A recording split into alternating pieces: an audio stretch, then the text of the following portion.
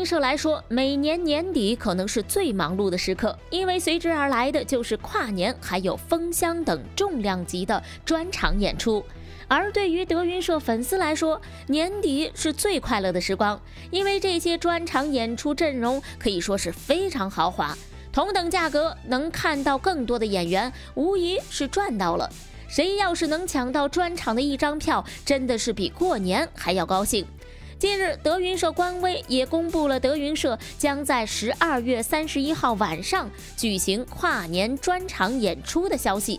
专场票开抢时间一到，可以说是瞬间秒空。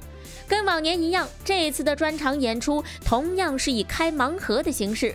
德云社并未公布跨年专场的演出阵容，粉丝们也纷纷在官方账号下留言猜测演出阵容，希望哪位演员能够进行跨年演出。其中，张云雷、杨九郎也是呼声可以说是最高的。细数一下，张云雷、杨九郎两人一块儿合体说相声，还是在天津德云社开业的时候，已经是七个月以前的事情了。而最近一段时间，张云雷一直都在忙着培训德云社的学员，再加上去年的德云社跨年，张云雷就没有参加，所以九遍合体说相声的可能性不大。当然，无论是谁参演，能抢到票的粉丝都是幸福的。与此同时，不少网友表示，郭老师是不是也应该还愿了？因为疫情的这一段时间，德云社的演员可以说许出去不少的门票。